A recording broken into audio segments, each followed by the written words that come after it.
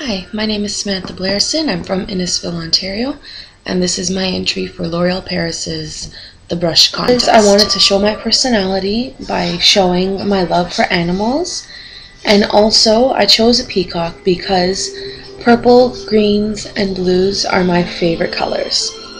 You'll notice that there is a lot of uh, shimmer in my look as well, and that's just because I love sparkle. I'm a sparkly person.